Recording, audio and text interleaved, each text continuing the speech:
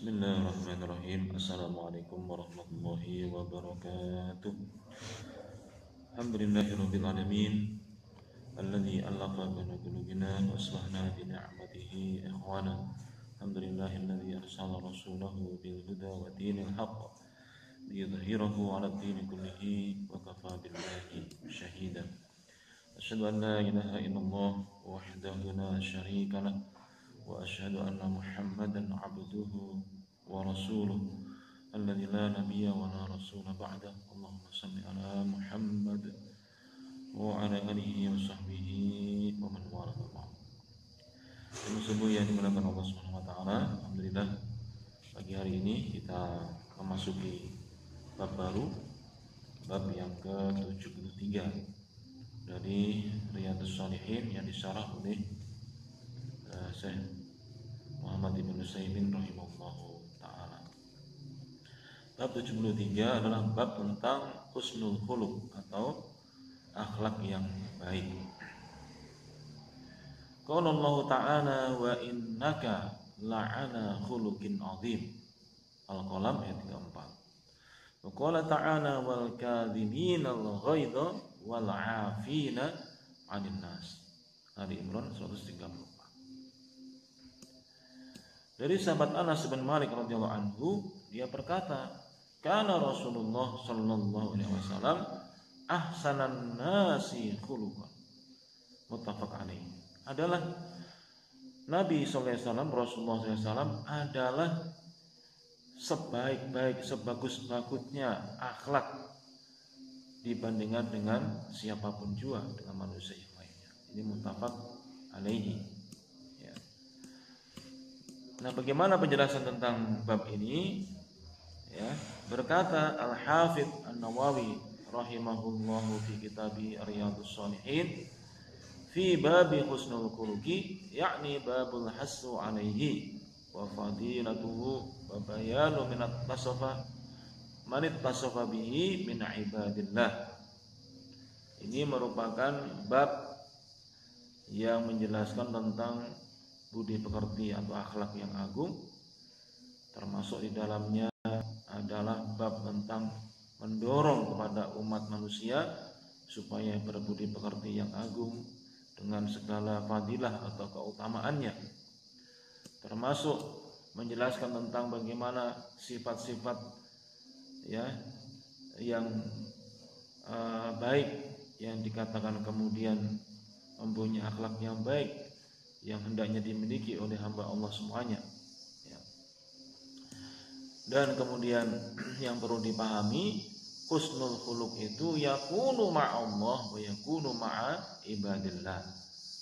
Jadi yang namanya akhlak yang baik itu mencakup dua dua lingkup. Yang pertama adalah akhlak kepada Allah Subhanahu wa taala dan yang kedua akhlak kepada sesama hamba Allah Subhanahu Amma husnul khuluqi ma Allah fahuwa ar-ridha bi hukmih syar'an wa qadran.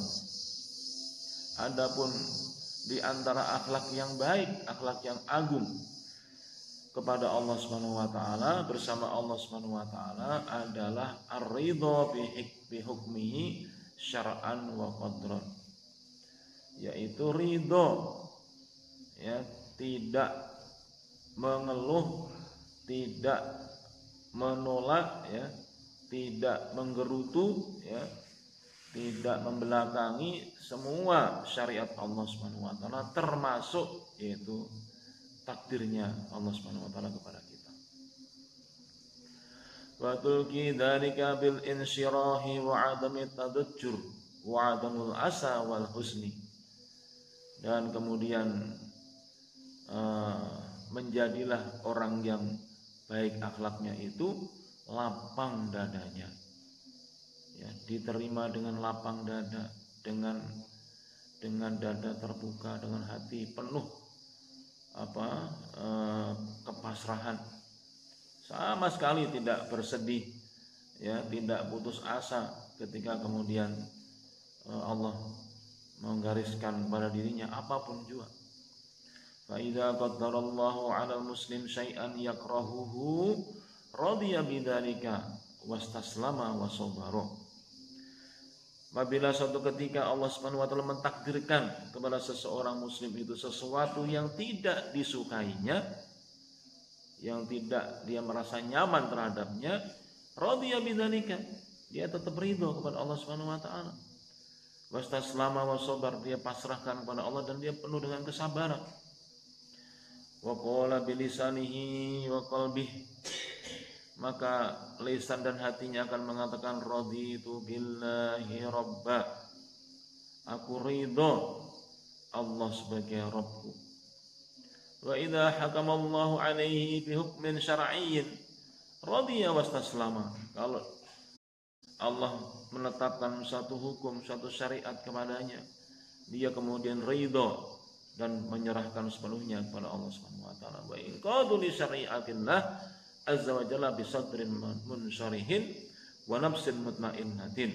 Maka ketika berhadapan dengan syariat Allah orang yang akhlaknya baik itu dia akan membuka hatinya dadanya dengan penuh kelapangan dan jiwa yang tenang atau tentram Fahada husnul khuluq ma'allahi azza wa jalla. Itulah yang dimaksud dengan uh, akhlak yang baik kepada Allah Subhanahu Amma ma'al khalqi fayusinul khuluqa ma'ahum bima qalahu ba'dul ulama. Adapun akhlak yang baik kepada sesama manusia, sesama hamba Allah Subhanahu wa taala, maka alangkah baiknya kita merujuk pada eh, perkataan ulama berikut ini. Yang dimaksud dengan husnul khuluq ma'an nas berakhlak yang baik kepada sama manusia adalah kaful ada satu. Yaitu menghindarkan diri dari mengganggu saudaranya. Jangan sampai keberadaan kita itu mengganggu saudaranya. Jangan sampai ketika kita di dalam suatu komunitas posisi kita ini adalah troublemaker pembuat kegaduhan kekisruan keributan sehingga akhirnya yang lainnya merasa terganggu ya. Yang kedua babadul nada dan kemudian dia membantu semampunya ketika saudaranya ini membutuhkan. Dan yang ketiga watalaquhu al wajh dan kemudian wajahnya kalau bertemu dengan saudaranya selalu berseri-seri, muka yang manis, jauh dari muka yang cemberut atau bermuka masam. Nah, itulah yang namanya husnul husnul khuluq. Nah, inilah yang e, diringkas oleh para ulama tiga bentuk akhlak yang baik kepada kepada manusia, kepada hamba Allah. Nah, berikutnya yang dimaksud dengan kaful ada bi alla an-nasa la bilisanihi wala bi termasuk di dalam kategori menahan diri dari mengganggu saudaranya adalah tidak mengganggu, melukai, ya, menyinggung dengan hati, dengan lesannya, dengan ucapannya maupun dengan dengan jawarihnya yaitu dengan dengan tangannya mungkin atau dengan kakinya, dengan apa pokoknya dengan anggota badannya. Wa badlun nada yakni al-ata. Adapun maksud dari badlun nada adalah memberikan sesuatu. Yabdul ata'a min malin wa ilmin wa jahin wa ghairi. Apa yang bisa diberikan kepada saudaranya? Ya bisa hartanya, bisa ilmunya, bisa pangkat kedudukannya yang bermanfaat untuk orang lain dan juga semacamnya. Dan yang dimaksud dengan tolakul wajh, tolakatul wajh itu adalah ber, bermuka yang manis ya bi ayyulakin nasa bi wajhihi an muntalaq laisa bi abusin wala musairin eh, khaddahu jadi jauhkan dari bermuka masam bermuka cemberut ketika bertemu dengan saudaranya. Ya, kalau sendirian nggak apa-apa ya. Kalau nggak papasan atau sendirian di kamar. Kalau mau cemberut dihabiskan di dalam kamar saja gitu ya. Nah, kalau sudah keluar rumah ketemu banyak orang diusahakan yaitu tolak kotul wajihi yaitu uh, dengan muka atau wajah yang yang dan tidak diwajibkan untuk bermuka manis ketika tidak ada siapa-siapa ya. Saya sendirian ya sendirian di masjid yang nunggu yang lainnya dia pasang muka manis ya, kan? Tidak ada orang lainnya ya. Muka serius juga nggak apa-apa ya. kemudian wala syakka anna alladhi yaf'alu hadha faqaful adha yabdul nada wa yaj'al wajhahu mut mut uh, la syakka annahu sayasbiru ala adan nasi aidha nah orang yang diberikan oleh Allah Subhanahu wa taala akhlak yang baik seperti itu yaitu dia itu menjauhkan diri dari apa mengganggu saudaranya selalu memberikan solusi kalau ada keluhan dari saudaranya. Dan kemudian bermuka yang manis maka orang seperti ini tidak diragukan lagi. Dia insya Allah bisa bersabar ketika ada orang lain yang melakukan hal, buruk tadi itu kebalikannya misalnya dia apa tetangganya itu suka mengganggu. Tetangganya itu pelit ya tetangganya itu bermuka masam nah kalau dia itu basicnya sudah berusaha mengkondisikan dirinya berakhlak yang baik seperti itu maka insya Allah ketika menghadapi orang-orang yang berakhlak yang tidak baik itu dia akan bersabar. Fa inna ala ada ala adan nasi la syakka min husnil khuluq. Karena apa? Karena kita bersabar atas gangguan orang lain itu termasuk bagian dari akhlak yang yang baik. Fa inna minan nas may yu'dhi akhahu wa rubbama yata'addi alaihi bima yadurruhu. Karena tidak disangkal bahwa di antara manusia itu memang ada yang memang gatal kalau nggak ganggu saudaranya. Ada ya usilnya itu, pengen ganggu, pengen goda, pengen apa namanya e, mendatangkan motor pada saudara. Memang ada yang begitu. Ya. Misalnya apa? Bi akli ya dia memakan harta saudaranya dengan cara yang batil. Aw jahata haqqalahu, ya atau kemudian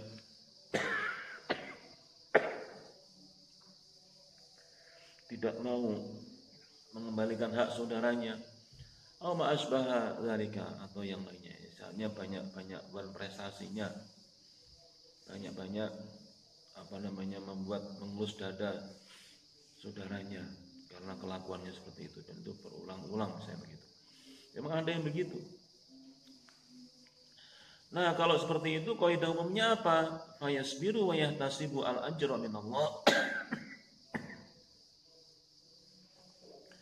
Subhanahu wa ta'ala Ya kaidah umumnya kalau ada yang begitu ya kita harus bersabar dan selalu mengharap yang dicari adalah pahala dari Allah Subhanahu wa taala. Wal aqibatu lil muttaqin adapun kesudahan yang baik itu kepada orang-orang yang yang bertakwa. Wa hadza kullu min husnil khuluqi ma'an nas. Ya, itulah uh, di antara akhlak yang baik kepada sesama manusia. ثم صدر المؤلف رحمه الله تعالى هذا الباب بقوله تعالى مخاطبا مخاطبا نبيه صلى الله عليه وسلم وإنك لعلى خلق عظيم dan sesungguhnya engkau Muhammad benar-benar di atas akhlak yang begitu agungnya. Al-Qalam ayat yang keempat. Wa hada ma'tufun ala jawabil qasam dan ini yang perlu kita pahami jamaah sekalian, ini ayat yang keempat merupakan rangkaian satu kesatuan dari ayat sebelumnya ayat 1 sampai ayat 3. Apa itu? Nun wal qalami wama yasturun. Allah bersumpah dengan kolam. Nun demi pena dan apa yang ditulis yang mereka tulisnya. Wa ma anta bi ni'mati rabbika majnun. Tidaklah kamu itu wahai Muhammad dengan nikmat dari Tuhanmu itu orang yang gila. Bukan orang gila Rasulullah itu. Ya bukan orang gila bukan orang yang berakhlak buruk ya. Bukan orang yang apa dibilang itu katanya uh, hausek ya.